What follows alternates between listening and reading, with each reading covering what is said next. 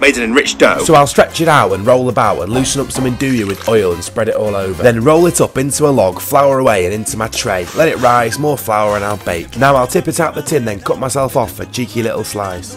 I also oiled up and spiced some chicken thighs and air fried them, brushed with barbecue sauce to get them glazed. It's about time we admit cheddar's best enjoyed cold. Because all these at increasing intensity are better for melting, but this one's my favourite. But you want to learn on a mix for the different good bits. I pop on the lid and I'll get it toasted. On both of the sides, then I'll give it a quick slice. Time for a cheeky cheese pull, and it's looking quite nice. Take a quick snap, then it's ready to scram.